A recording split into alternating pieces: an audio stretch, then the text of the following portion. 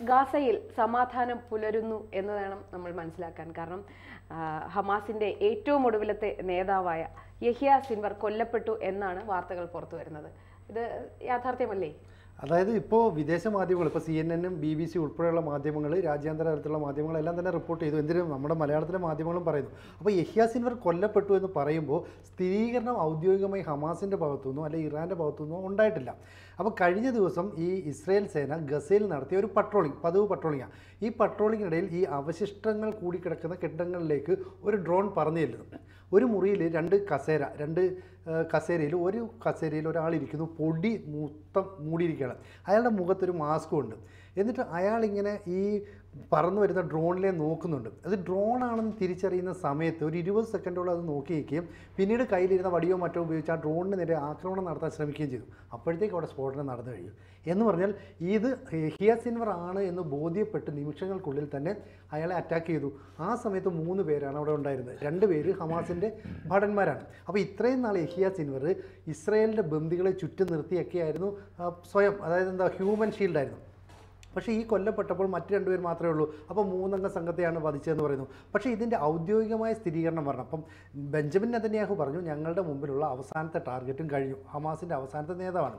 അപ്പം ഈ ഇസ്രേ ഈ പിന്നെ യഹിയ സിൻവർ എന്ന് പറയുന്നത് ഇത്രയും നാൾ സ്ത്രീകളുടെ കൂട്ടത്ത് പർദ്ദയൊക്കെ ഇട്ടൊക്കെ നടക്കുകയായിരുന്നു. അപ്പോൾ ഈ കാലങ്ങളായി ഇവരുടെ ഒരു ടാർഗറ്റുമായിരുന്നു. മുമ്പ് ഏതാണ്ട് രണ്ട് പതിറ്റാണ്ടോളം ഇസ്രയേലിലെ ജയിലിൽ കഴിഞ്ഞ ആളാണ്. അതുകൊണ്ട് തന്നെ ഇയാളുടെ ശരീരത്തിലെ അടയാളങ്ങൾ ഇയാളുടെ മറ്റു പാടുകൾ ഇതൊക്കെ ഇവർക്ക് തിരിച്ചറിയാം. അതുകൊണ്ട് ഡി എൻ എ പരിശോധന നടത്താനായിട്ട് ഇസ്രയേലിലേക്ക് ഈ ബോഡി കൊണ്ടുവരും. അതിനകത്ത് വേറൊരു ഉദ്ദേശവും കൂടിയുണ്ട്. കാരണം ഒക്ടോബർ ഏഴിന് നടന്ന ആക്രമണത്തിൽ ഈ മുഖ്യ സൂത്രധാരൻ അതായത് അയാളുടെ ആയിരത്തി ഇരുന്നൂറോളം ഇസ്രയേലുകാരെയാണ് അന്ന് ഈ ഹമാസുകാർ വധിച്ചത്. മുഖ്യ സൂത്രധാരനായ ഈ യഹിയ സിൻവറെ അവിടെ കൊണ്ടുവന്ന് ആ കൊല്ലപ്പെട്ട ബന്ധുക്കളെയൊക്കെ ഈ മൃതദേഹം ഒന്ന് കാണിക്കണം. ഒരു ഒരു വൈരാഗ്യമാണ് അവർക്ക്. അത് പൊതുവായിട്ട് എല്ലാവരും കാണിക്കാൻ എല്ലാം രഹസ്യമായിട്ടൊക്കെ കാണിക്കാനായിരിക്കാം. മാത്രമല്ല ഈ ഡി എൻ എ പരിശോധനയ്ക്ക് ശേഷം മാത്രമേ കൃത്യമായ നിലപാട് അവർക്ക് പ്രഖ്യാപിക്കാനും സാധിക്കുകയുള്ളൂ.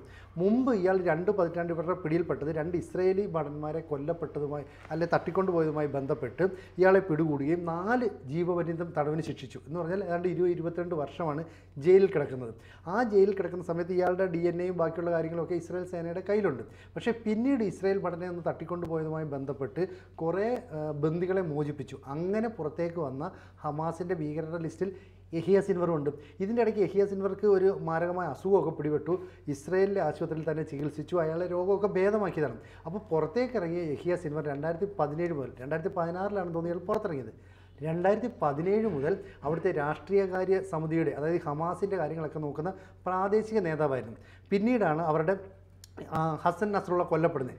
ഹസൻ നസറുള്ള കൊല്ലപ്പെട്ടപ്പോഴാണ് യഹിയ സിൻവർ ഇതിന്റെ നേതൃത്വം ഔദ്യോഗികമായി ഏറ്റെടുക്കുന്നത്. ഇതിനുശേഷം കൃത്യമായ ആസൂത്രണത്തിലൂടെ ആക്രമണമൊക്കെ നടത്തി വരികയായിരുന്നു. അപ്പോൾ ഈ ആക്രമണമൊക്കെ നിർത്തിവെക്കാൻ യു എൻ പലതവണ ആവശ്യപ്പെടുന്നു അമേരിക്ക ആവശ്യപ്പെടുന്നു. എന്നിട്ടൊന്നും ഇസ്രയേൽ നിർത്തിയില്ല. അവർ പറഞ്ഞത് ഞങ്ങൾ ഈ തീവ്രവാദത്തെ ഭീകരവാദത്തെ വേരോടെ പിഴുതെറിയും.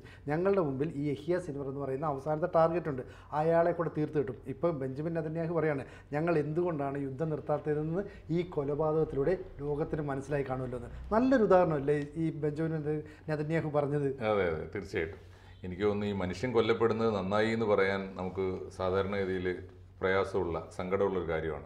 പക്ഷേ ഇത് യഹിയ സിൻവർ ആയിരിക്കണേ എന്ന് പ്രാർത്ഥിക്കുന്ന കൂട്ടത്തിലാണ് ഞാൻ. കാരണം ഇസ്രായേൽ നമുക്കൊരു വാഗ്ദാനം നൽകിയിട്ടുണ്ട്. ഇത് ഞങ്ങളുടെ ടാർഗറ്റിൽ അവസാനത്തേതാണ്. അങ്ങനെയാണെങ്കിൽ ഇനി ഈ ഹമാസ് തീവ്രവാദികൾ തേടിയുള്ള ആക്രമണങ്ങൾ അതിന്റെ പേരിൽ കൊല്ലപ്പെടുന്ന നിരപരാധികൾ ഒരിക്കലും തീരാത്ത ചോരച്ചാലുകൾ ഇതൊന്ന് അവസാനിച്ച് കിട്ടിയെങ്കിൽ. ആര് ജയിക്കട്ടെ? ഇസ്രായേൽ ഞാൻ പറയുന്ന ജയവും തോൽവിയും അല്ല. യുദ്ധം ഒന്ന് അവസാനിച്ച് കിട്ടട്ടെ എന്ന് തീർച്ചയായിട്ടും ഇപ്പോൾ പ്രീത പറഞ്ഞ വളരെ ശരിയാണ്. നമ്മുടെ ആ ആമുഖവാക്യം തന്നെ അതാണല്ലോ. ഇത് ഈ യുദ്ധം ഒന്ന് അവസാനിച്ച് കിട്ടുമെന്നൊരു പ്രതീക്ഷയാണല്ലോ ഈ കൊലപാതകത്തിലൂടെ ഉള്ളത് അങ്ങനെയാണെങ്കിൽ ഒരു ഈ യഹിയ സിൻവറിന്റെ കൊലപാതകത്തോടു കൂടി ഇസ്രായേലിന്റെ ടാർഗറ്റ് പൂർത്തിയായി എന്ന് അവർ തന്നെ പറയുമ്പോൾ ആ കൊലപാതകം ഒരു യുദ്ധത്തിന്റെ പരിസമാപ്തിയാകുമെന്ന് പ്രതീക്ഷിക്കാൻ കഴിയുമെങ്കിൽ ഇത് നല്ല വാർത്തയായിട്ടാണ് ഞാൻ കേൾക്കുന്നത്. പിന്നെ ബന്ദികളാക്കിയ നൂറ്റിയൊന്ന് പേര് ഇപ്പോഴും ഹമാസിന്റെ കസ്റ്റഡിയിലാണ് എന്നല്ലേ പറയുന്നത്? അതെ അതെ. അപ്പൊ അവർ അവർക്ക് ഉടനെ തന്നെ എന്തായാലും മോചനം ഉണ്ടാകുമെന്ന് പ്രതീക്ഷിക്കാമല്ലോ എനിക്ക് തോന്നുന്നില്ല. അവർ ഒളിപ്പിച്ചു വെച്ചിരിക്കുകയാണ്. ഇപ്പം നൂറ്റി ആറ് പേരിൽ ആറ് പേരെ മാത്രമാണ് മോചിപ്പിക്കാൻ സാധിച്ചത്. ഇതെന്താണെന്ന് വെച്ചാൽ ഈ പാവങ്ങളായ മനുഷ്യന്മാർ സിവിലിയൻസ് കഴിഞ്ഞുകൂടുന്ന പ്രദേശങ്ങളിൽ മാർക്കറ്റുകളിൽ ആശുപത്രികളിൽ ഈ പള്ളികൾ ഇങ്ങനെയുള്ള സ്ഥലങ്ങളിൽ ആണ് ഈ ബന്ദികളെ എവിടെയോ കൊണ്ടുപോയി ഇസ്രായേലി ജൂതന്മാരായ ബന്ദികളെ എവിടെയോ കൊണ്ടുപോയി ഒളിപ്പിച്ചു വെച്ചിരിക്കുന്നത്. ഒരു പക്ഷേ അവരിൽ എത്ര പേരിപ്പോൾ ജീവിച്ചിരിപ്പുണ്ട് എത്ര പേര് കൊല്ലപ്പെട്ടു എന്നും നമുക്ക് എന്തായാലും ആ നൂറ് ജൂതവംശക്കാരായ ബന്ദികൾ ഇസ്രായേലി ഇസ്രായേൽ പൗരന്മാർ അവരുടെ ജീവനിൽ പ്രധാനപ്പെട്ട കൺസേൺ തന്നെയാണ്. പക്ഷേ ഇസ്രായേലിൽ എന്റെ ഒരു ഇപ്പോഴത്തെ ഒരു ഇസ്രായേൽ വെച്ച് ഒരു ഒരു ഉറുമ്പിനെ പോലും ഹമാസിന് ഫലസ്തീന്റെ മണ്ണിൽ ഫലസ്തീന്റെ മണ്ണ് എന്ന് പറയുന്നതിനേക്കാൾ ഇപ്പോൾ ഇസ്രായേലിന്റെ കയ്യിൽ തന്നെയുള്ള ഗാസയുടെയും വെസ്റ്റ് ബാങ്കിന്റെയും പ്രദേശങ്ങൾ. അവിടെ ഇസ്രായേൽ അറിയാതെ ഒരാളെ പോലും കൊല്ലപ്പെടുത്താൻ പോലും കഴിയാത്ത ഒരു അവസ്ഥയുണ്ട് അത്രയേറെ നിരീക്ഷണത്തിലാണ് അവർ അതുകൊണ്ട് അവർ സുരക്ഷിതമായിട്ട് എവിടെയുണ്ട് എന്ന് പോലും ഇസ്രായേലിന് അറിയാം എന്ന് വേണം. മൊസാദിനൊക്കെ അറിയാം എന്ന് വേണം നമ്മൾ കരുതാൻ. അതുകൊണ്ട് അവരെ മോചിപ്പിക്കാൻ അവർ ഏറ്റവും എനിക്ക് തോന്നുന്നു കാഷ്വാലിറ്റീസ് ഇല്ലാതെ ഒരാളുടെ പോലും ജീവൻ അപായപ്പെടുത്താതെ സ്വന്തം സ്വന്തം പൗരന്മാരെ രക്ഷിച്ചെടുക്കാൻ വേണ്ടിയുള്ള തന്ത്രങ്ങളായിരിക്കും ഈ നീട്ടിക്കൊണ്ടു പോകുന്നത് അല്ലെങ്കിൽ ഏറ്റവും ആദ്യത്തെ പ്രയോറിറ്റി അവർ കൊടുക്കുക അതിനായിരിക്കുമല്ലോ. അതിനല്ല അതിന് പകരം അവരെ സുരക്ഷിതമായി ഒളിപ്പിച്ചിരിക്കുന്ന താവളങ്ങൾക്ക് നിരീക്ഷണം ഏർപ്പെടുത്തിക്കൊണ്ട് തന്നെ ഈ ഭീകരവാദികളുടെ ഒരു തലമുറയെ ആ കൂട്ടത്തെ വൺ ബൈ വൺ ടാർഗറ്റ് ചെയ്തിട്ട് ഇത് ഈ തലവന്മാരെ ഒന്നൊന്നായി അവസാനിപ്പിച്ചാൽ അണികൾ ചെതറിപ്പോവുകയോ കീഴടങ്ങുകയോ ചെയ്യുന്ന ഒരവസ്ഥ വരുമെന്ന പ്രതീക്ഷയാണ് അവർക്കുള്ളത് എന്നാണ് ഞാൻ വിചാരിക്കുന്നത്. എന്തായാലും അത്തരത്തിൽ പോസിറ്റീവായൊരു വാർത്ത ഇത്ര ഒരു കൊല്ലത്തിലേറെയായി നമ്മൾ തുടർച്ചയായിട്ട് കേട്ടുകൊണ്ടിരിക്കുന്നു. കഴിഞ്ഞ പത്തെഴുപത്തഞ്ച് കൊല്ലമായി ഒരിക്കൽ പോലും തീരാത്ത യുദ്ധമാണ്. ഇടയ്ക്കിടെ പൊട്ടിത്തെറിച്ചു. പക്ഷേ കഴിഞ്ഞ ഒക്ടോബർ ഏഴല്ലേ? ഒക്ടോബർ ഏഴ് തൊട്ട് ഒരു കൊല്ലത്തിലേറെ ഒരു കൊല്ലം ഒരു മാസമായി നമ്മൾ കേട്ടുകൊണ്ടിരിക്കുന്നതാണ് ഈ യുദ്ധത്തിന്റെ കൊടിയ വാർത്തകൾ. അത് അവസാനിച്ച് കാണുമെന്ന പ്രതീക്ഷ ഇസ്രായേലിനോടൊപ്പം നമുക്കും പുലർത്താം. അത്ര ഇപ്പോൾ പറയാൻ പറ്റുള്ളൂ ഇപ്പോൾ ഈ ലെബനിലേക്ക് ഇസ്രായേൽ സേനം കടന്നു കയറി ആക്രമണമൊക്കെ നടത്തിയപ്പോൾ ലെബനിലുള്ള ഹിസ്ബുള്ളക്കാർ പറയുന്നുണ്ട് ഇനി യുദ്ധം നിർത്ത് ഞങ്ങൾ ഒഴിഞ്ഞു പൊയ്ക്കോളാം ഞങ്ങളെ ആക്രമിക്കരുത് ഒരു യുദ്ധം നിർത്തൽ എന്നുള്ള ഒരു ആവശ്യം അവർ ഉന്നയിച്ചു പക്ഷേ ഇസ്രായേൽ അത് കേട്ടിട്ടില്ല. ഇവിടെ ഇപ്പോൾ ഹമാസിന്റെ ഈ യാഹിയ സിൻവർ കൊല്ലപ്പെട്ടതോടുകൂടി ഇനി അവർക്ക് ഒന്നും പ്രതിരോധിക്കാനില്ല. നേരത്തെ പറഞ്ഞത് ഹമാസ് ഞങ്ങൾ കീഴടങ്ങാം. കീഴടങ്ങി കഴിഞ്ഞാൽ യഹിയ സിൻവറിനെ രാജ്യം വിട്ടുപോകാൻ അതായത് ഗസ വിട്ട് പുറത്തേക്ക് പോകാനുള്ള അനുവാദം ഇസ്രയേൽ നൽകുമെന്നാണ്. ഇതൊരു കേട്ടുകേൾവിയാണ്. ഇസ്രയേൽ ഔദ്യോഗികമായി സമ്മതിച്ചില്ല. അപ്പോൾ ഇസ്രയേലിന്റെ ടാർഗറ്റ് ഈ യാഹിയ സിൻവർ എന്ന് പറയുന്ന മുഖ്യ സൂത്രധാരൻ കാരണം ഈ ആയിരത്തി ഇരുന്നൂറ് പേരെയാണ് സ്വന്തം രാജ്യത്ത് കയറി ഹമാസുകാർ കൊന്നത്. അപ്പോൾ അങ്ങനെയുള്ള ഒരാളോട് ക്ഷമിക്കാനോ അയാളെ രാജ്യത്തിന് പുറത്തേക്ക് പോകാനുള്ള അനുവാദം നൽകാനോ ഇസ്രയേൽ ഒരു കാരണവശാലും തയ്യാറാവില്ല. അതുകൊണ്ടാണ് കൃത്യമായിട്ട് ബെഞ്ചമിൻ നെതന്യാഹു പറഞ്ഞത്. ഞങ്ങളുടെ മുമ്പിലുള്ള അവസാന ശത്രുവിനെയും കീഴടക്കിയതിന് ശേഷം മാത്രമേ ഇതിൽ നിന്ന് ഞങ്ങൾ പിന്മാറൂ എന്ന് പറഞ്ഞാൽ ഹമാസും ഹിസ്ബുള്ളയുമാണ് ഞങ്ങളുടെ ശത്രുക്കൾ.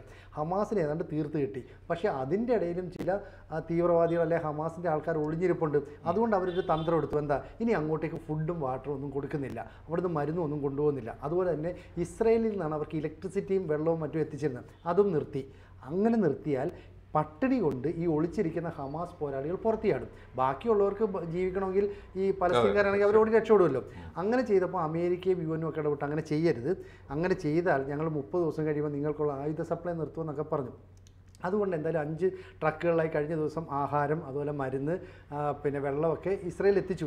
ഇതിനിടയിൽ തന്നെയാണ് ഇസ്രയേൽ ഇത്തരത്തിലൊരു ആക്രമണം നടന്നത്. ഒപ്പം തന്നെ പ്രീത കഴിഞ്ഞ പറഞ്ഞതുപോലെ ഈ യഹിയ സിൻവറിനെ ആക്രമിച്ച സമയത്ത് തന്നെ ഒരു സ്കൂളിന് നേരെ ഒരു ആക്രമണം ഉണ്ടായില്ലേ? അതിന്റെ വാർത്തകളും വന്നിരുന്നു. അതെ അതെ. അതായത് ജബാലിയയിൽ യു എൻ അഭയകേന്ദ്രമായ സ്കൂളിന് നേരെയുണ്ടായ ബോംബാക്രമണത്തിൽ അഞ്ച് കുട്ടികളടക്കം ഇരുപത്തെട്ട് പാലസ്തീൻകാർ കൊല്ലപ്പെട്ടു. നൂറ്റി അറുപത് പേർക്ക് പരിക്കേറ്റു. പൊതുവെ ലോകത്തുള്ള പല രാജ്യങ്ങളും ഇസ്രായേലിനെതിരെ തിരിഞ്ഞത് ഇങ്ങനെയുള്ള സാധാരണക്കാർ ഒരുപാട് പേര് കൊല്ലപ്പെടുകയും പരിക്കേൽക്കുകയും കുട്ടികൾ ഉൾപ്പെടെ കൊല്ലപ്പെടുന്നതിന്റെ പേരിലായിരുന്നു. പക്ഷെ ഇനി ഇത്തരം ആക്രമണങ്ങളിൽ നിന്ന് ഇസ്രായേൽ പിന്മാറുമല്ലോ ഉറപ്പായിട്ടും? അത് വളരെ ഗൗരവമുള്ള കാര്യമല്ലേ? ആണ്. ഇത് എനിക്ക് തോന്നുന്നു നമ്മൾ ലോകത്തിന് പരിചയമില്ലാത്തൊരു പുതിയ യുദ്ധമുറയാണ് ഇസ്രായേൽ ഈ ഈ തവണ ഈ ഒടുവിലത്തെ യുദ്ധത്തിൽ പുറത്തെടുത്തത്. അത് വേറൊന്നുമല്ല. എതിരാളിയെ വകവരുത്തുക എന്നതിന് പകരം അവർ താവളങ്ങൾ സ്വന്തമാക്കുക. താവളങ്ങളെ തകർക്കുകയല്ല. തീർച്ചയായിട്ടും ഇപ്പോൾ അവിടെ ഒരു എതിരാളി ഒളിച്ചിരിക്കുന്നുണ്ടെങ്കിൽ യാതൊരു സംശയവുമില്ല. അവിടെ കൂട്ടത്തിൽ പാവങ്ങൾ ആശുപത്രിയിലാണെങ്കിൽ അനാഥശാലകളിലാണെങ്കിൽ അങ്ങാടിയിലാണെങ്കിൽ നിരപരാധികളായ സിവിലിയന്മാർ കൊല്ലപ്പെടുന്നുള്ള ഉറപ്പാണ്. പക്ഷേ ഒരിക്കൽ അങ്ങനെ കൊല്ലപ്പെട്ടാൽ തന്നെ ഇസ്രായേൽ സൈന്യം അട് അവരെ കൃത്യമായി ലക്ഷ്യം വെക്കുന്നത് ആ താവളം കണ്ടുപിടിച്ചാൽ ആ താവളം സ്വന്തമാക്കുക എന്നുള്ളതാണ്. അതാണ് തെക്കൻ ലെബനോണിൽ തെക്കൻ ലെബനോണിൽ ഇവരുടെ കയ്യിലാണ് തെക്കൻ ലെബനോൺ ഇവരുടെ കയ്യിലാണ് ഗാസയുടെ നല്ലൊരു പ്രദേശം ഇവരുടെ കയ്യിലാണ്. ഇപ്പോൾ ഭൂരിഭാഗം ഭൂരിഭാഗം ഇപ്പോൾ കഴിഞ്ഞ ദിവസം മനോരമ പുറത്തുവിട്ട ഒരു മാപ്പ് പ്രകാരം ഏതാണ്ട് അറുപത് എഴുപത് ശതമാനം ഗാസ എന്ന് പറയുന്നത് ഇപ്പോൾ പഴയ പലസ്തീനിലല്ല ഇസ്രായേൽ ഭൂപ്രദേശത്തിന്റെ ഭാഗമാണ്. അതൊരു ടാർഗറ്റ്. അവരിപ്പോൾ ചെയ്യുന്ന നല്ല സ്ട്രാറ്റജിയാണ്. കാരണം പിന്നെ അവിടെ ഇരുന്നു കൊണ്ട് ഒരു ആക്രമണം നടക്കൂലല്ലോ. തെക്കൻ ലെബനോൺ പിടിച്ചടക്കിയാൽ പിന്നെ അവിടെ ഇരുന്നുകൊണ്ട് ഇരുന്നുകൊണ്ട് ഇസ്ബ ഇസ്ബുല്ല തീവ്രവാദികൾ ഇസ്രായേലിലേക്ക് ആക്രമണം നടത്തൂല. ഒന്ന്. രണ്ടാമത്തെ കാര്യം ഗാസ പിടിച്ചടക്കിയാൽ ഒരുത്തനെ കൊല്ലാൻ വേണ്ടി ഒരു ഭീകരവാദിയെ പിടിക്കാൻ വേണ്ടി അഞ്ചോ എട്ടോ കുട്ടികൾ തീർച്ചയായിട്ടും പാടില്ലാത്തതാണ്. സങ്കടകരമാണ്. അവർ കൊല്ലപ്പെട്ടാൽ പോലും ബാക്കി കുട്ടികളെങ്കിലും രക്ഷിച്ചെടുക്കാൻ പറ്റും. അവർക്ക് നോട്ടീസ് കൊടുത്തിട്ട് അവരോട് പറയുകയാണ് മക്കളെ ഇനി പോയിക്കോ. ഇവിടെ ഒരുത്തനും കൂടി ഉണ്ട്. അവനെ ഞങ്ങൾ പിടിച്ച് അടക്കിയിട്ടേ പോവുള്ളൂ. അതുവരെ ഞങ്ങൾ ഇവിടെ ഉണ്ടാവും. എന്ന് പറഞ്ഞാൽ രണ്ട് കാര്യം. ആ നാടിന്റെ രക്ഷയും അവരുടെ ജനങ്ങളുടെ വിശ്വാസം ഏറ്റെടുക്ക ആർജിക്കാൻ പറ്റും. പ്ലസ് അവിടുത്തെ തീവ്രവാദികളെ ജനങ്ങളിൽ നിന്ന് തന്നെ ഒറ്റപ്പെടുത്തി എടുത്തിട്ട് അവർക്ക് തകർക്കാനും പറ്റും. അതാണ് ഒന്ന്. വേറൊന്ന് അതേ സമയത്ത് തന്നെ ആ പ്രദേശം ആ പ്രദേശം സ്വന്തമാക്കുക കൂടി ചെയ്യുന്നുണ്ട്. സ്വന്തമാക്കുക എന്ന് പറഞ്ഞു കഴിഞ്ഞാൽ ഇസ്രായേൽ പൗരന്മാരെ കൊണ്ടുപോയി അവിടെ പാർപ്പിക്കുക. അതോടുകൂടിയിട്ട് അവിടെ സംഭവിക്കുന്ന ഒരു അത് വല്ലാത്തൊരു സ്ട്രാറ്റജിയാണ്. നമ്മൾ വിചാരിക്കുന്ന യുദ്ധമുറയല്ല അത്. അതെന്താണെന്ന് വെച്ചാൽ ഇവരെപ്പോലുള്ള പൗരന്മാർ അവിടെ ചെന്ന് ജനജീവിതം തുടങ്ങുമ്പോൾ അവർ തമ്മിലൊരു പുതിയ സൗഹൃദം രൂപപ്പെടും. വേറൊരു വിശ്വാസം കൂടി വരും. ഇനി ഞങ്ങളുടെ ഞങ്ങളുടെ നാട്ടിൽ ബോംബ് വീഴില്ലല്ലോ. അങ്ങനെ വീണാൽ ഞങ്ങൾ മാത്രമല്ല അവരും കൊല്ലപ്പെടും. വല്ലാത്തൊരു വിശ്വാസമാണ് അത് മാത്രമല്ല തീവ്രവാദത്തിന് വളരാനുള്ള ഒരു അനുകൂലമായ സാഹചര്യം പാലസ്തീൻകാർ അതിന് അനുവദിക്കത്തില്ല. ഇല്ല. കാരണം എന്താ വെച്ചാൽ അവിടെ താമസിക്കുന്ന ഇവരോടൊപ്പം മിങ്കിൾ ചെയ്ത് താമസിക്കുന്ന ജൂത പൗരന്മാർ അവിടെ ഉള്ളപ്പോൾ അവരുടെ ജീവൻ പോലെ തന്നെ ഞങ്ങളുടെ ജീവൻ രക്ഷിക്കപ്പെടുമല്ലോ എന്നൊരു വിശ്വാസം ഉണ്ടാവും. ഈ രണ്ടു കൂട്ടരുടെയും ജീവന് ഭീഷണിയുള്ളത് ആ ഭീകരനാണല്ലോ എന്ന ഒരു ഒരു തോന്നലുണ്ടാവും? സൈക്കോളജിക്കൽ എനിക്ക് തോന്നുന്നു ഇതൊരു യുദ്ധതന്ത്രം എന്ന നല്ല അല്ല ഞാൻ കാണുന്നത്.